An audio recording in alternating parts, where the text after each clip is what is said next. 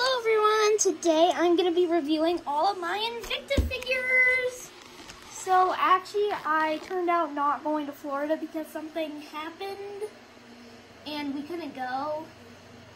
So now we're thinking of rebooking it or we might go to Disneyland even though I'd rather go to Disney World. So today I'm going to review all of my Invicta figures. Before we do that, I'm going to tell you some history behind them. So, one, two, three. The Invicta line started around 1973, before My Little Pony or Safari Limited were established. They made all sorts of figures. Their line consisted of a Diplodocus, a Megalosaurus, a Glyptodon, a Muttaburrasaurus, a Baryonyx, a Liopleurodon, a T-Rex, a Brachiosaurus, a Mamenchisaurus, an Ichthyosaurus, a blue whale, which is very weird, a Scelidosaurus, a Dimetrodon, and even more. But the rarest out of the group was the last Invicta, the Wambiasaurus. What makes this Invicta so rare is it was the last Invicta ever made. Invicta pretty much died in 1997 when Safari Limited and other dinosaur companies won over them and their brand started getting less popular. The last Invicta set ever released was the box set sold at the Natural History Museum.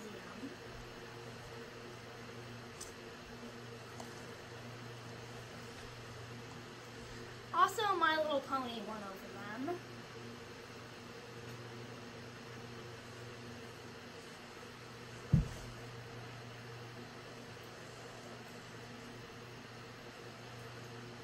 So, the Invicta figures are now very, very hard to get, but they are spread around everywhere on eBay, and you can find them today individually or in lots. So we're going to take a look at all of my figures from this line, and I will tell you what year these were made. So we're going to go from oldest to newest.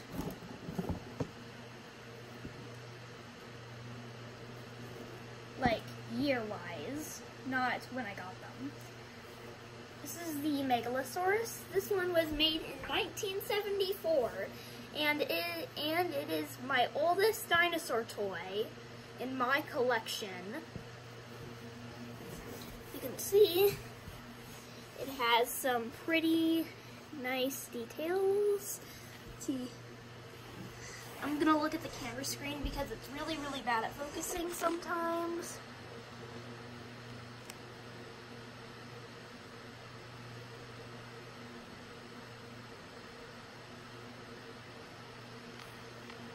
So, you can kind of get an idea of all the detail.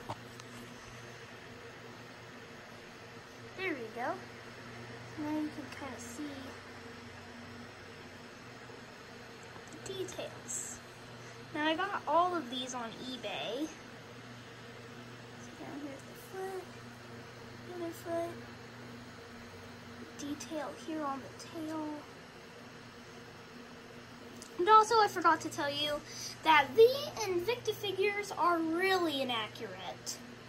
Some of them are more accurate than others like the Liopleurodon and the Plesiosaurus, but others not so much. But some, some they, some they got out were actually accurate, so that's good.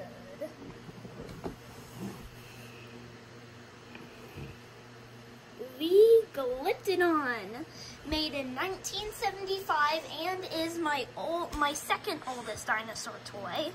Well, it's not exactly a dinosaur, it's a mammal.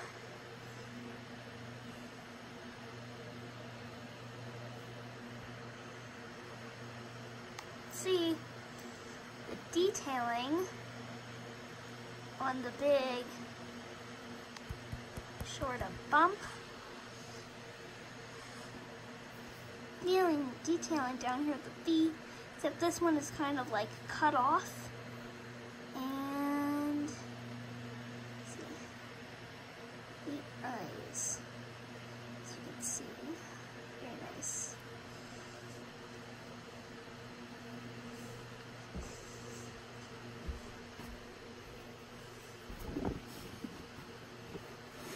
I will do one of them at the end because actually one of them I have no idea what year it was made.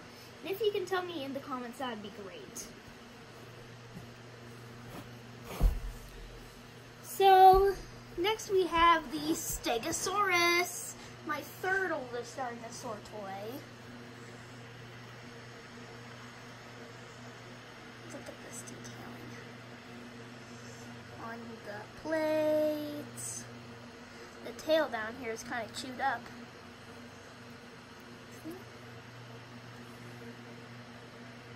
Face.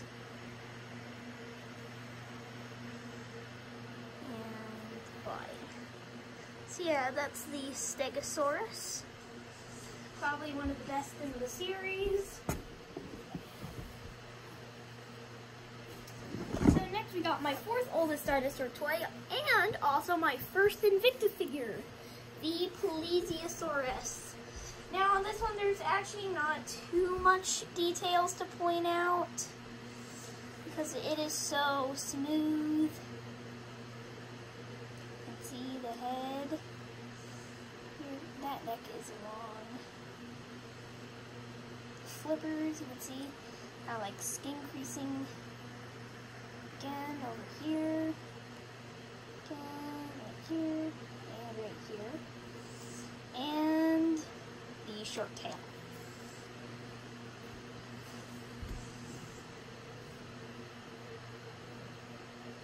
Whoops. There you go. There is my Plesiosaurus.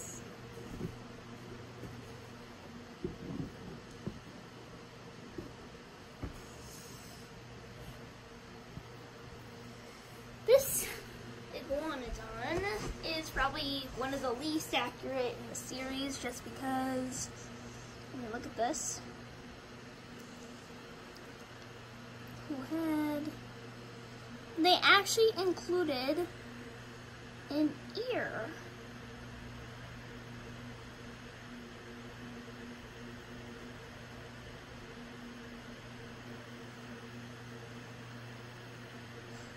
See, they actually included an ear. And you can see the veins. See, the ear? It's right here. Through the veins. And the very famous thumb spike, which is all everyone cares about on the Iguanodon, really, is the thumb spike. Feet down here.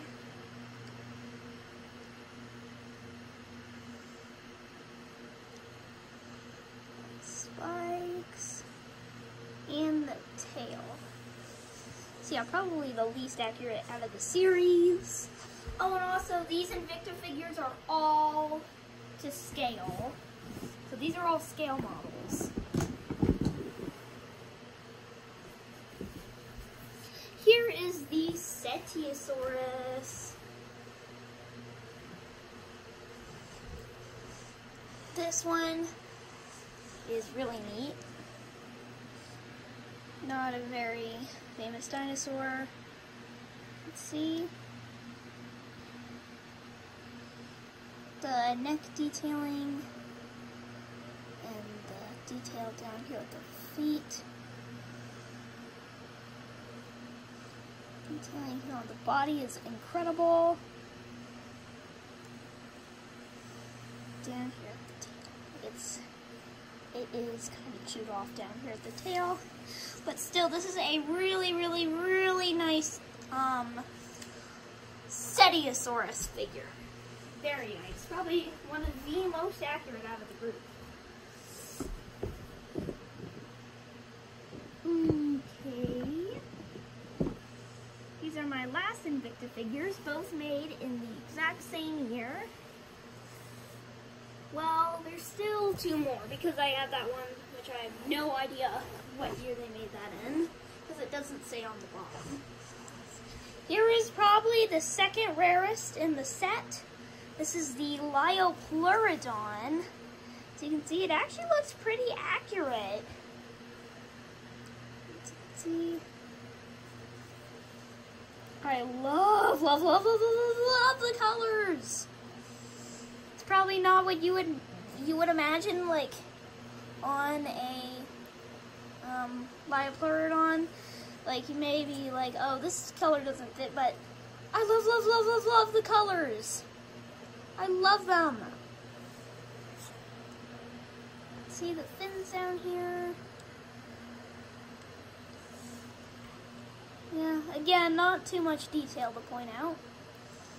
This one was really, really well taken care of. Like, when I started to get these Invicta figures, like, after this one, I noticed that they were being more and more taken care of. Because the other ones that I got were just, like, beat up. Very, very loved. Oh, and this other one, the last one I actually know what year it's from, probably one of my most beloved Invicta figures is the Muttaburrasaurus not such a famous dinosaur, but still. It's an iguanodont, so yeah. See the all the detailing. The details are actually pretty close to the Glyptodon, like on that big shell that it had. Like all this detail, all this like bumpy detail. Down here, the foam spike. Then over here. Then right here at the feet. And the big long tail. This one is really, really well taken care of. I'm not sure the owner of this one actually played with this much because this is in like perfect condition.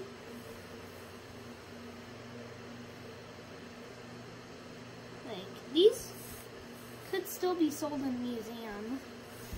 Like, perfect condition. Perfect. Look at that.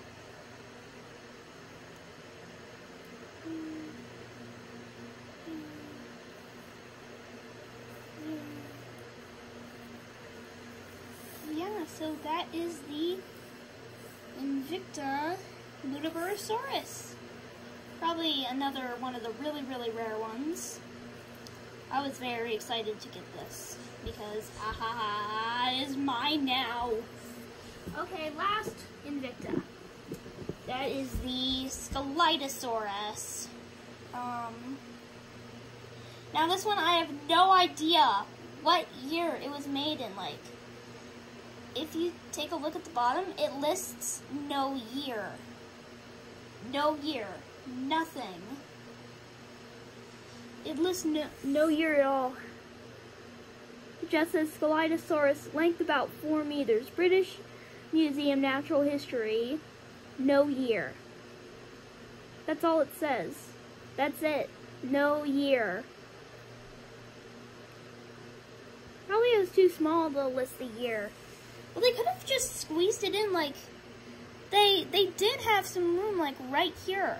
I mean, Invicta Invicta, couldn't you just do that? Like, why?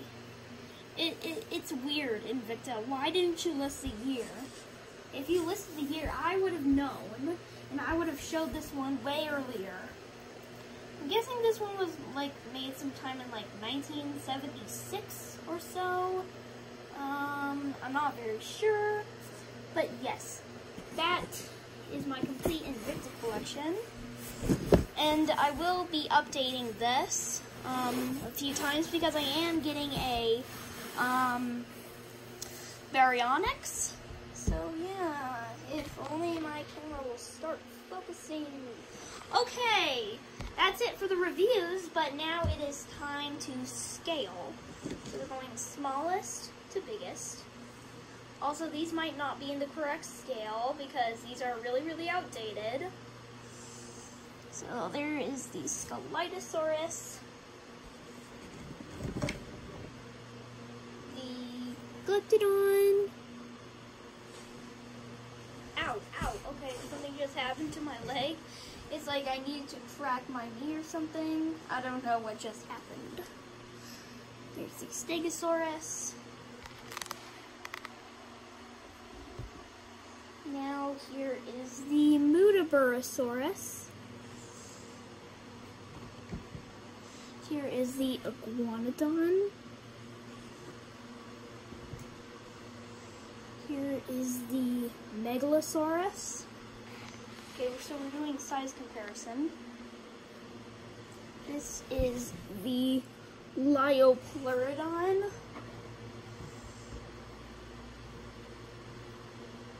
Here is the Cetiosaurus. Finally here is the Plesiosaurus. Actually, wait, let me switch these two. There.